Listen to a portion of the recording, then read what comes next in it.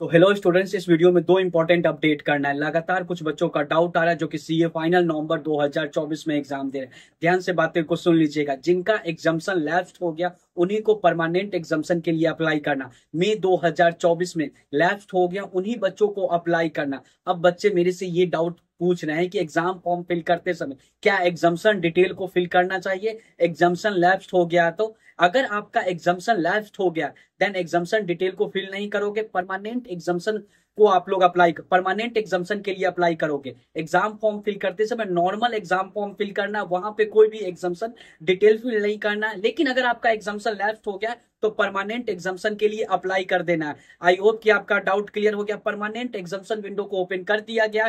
क्या है last date CA final November 2024 वालों बच्चों के लिए? तो 26 अगस्त 2024 है। कैसे अप्लाई करना? जिन बच्चों को नॉर्मल एग्जामेशन है, जिन बच्चा का एग्जामेशन लेफ़्ट नहीं हुआ, उनको नवंबर 2024 में सीए फाइनल का एग्ज़ाम देना है। और अगर उनको एग्जामेशन है तो वो लोग जब एग्ज़ाम फॉर्म फिल करेंगे ना तो एग्ज़ाम फॉर्म फिल करने के दौरान ऑटोमेटिक एग्जामेशन डिटेल फिल होगा। अगर नहीं होगा तो आप लोग फिल कर दीजिएगा। आई होप कि आपका डाउट क्लियर हो गया। और हाँ स्टूडेंट्स कैसे एग्ज़ाम फॉर्म फिल करना? मैंने ऑलरेडी वीडियो बना रखा है। वीडियो का लिंक आपको डिस्क्रिप्शन में मिल जाएगा। सीए फाइनल नवंबर 2024 का एग्ज़ाम विंडो को ओपन कर दिया गया है। आखिरी डेट विदाउट लेट फाइन 20 अगस्त 2024 है। क्या है आखिरी डेट 20 अगस्त 2024 with late fine twenty third अगस्त तक आप लोग एग्ज़ाम फॉर्म फिल कर सकते हो। आई होप कि आपका डाउट क्लियर हो गया। कैसे एग्ज़ाम फॉर्म फिल करना? वीडियो का लिंक आपको डिस्क्रिप्शन में मिल जाएगा। जिन बच्चों को एग्जामेशन नहीं है तो एग्जामेशन डिटेल में कुछ भी नहीं फिल करना। आई होप कि आपका डाउट क्लियर होगा। एक और चीज़, कुछ बच्चा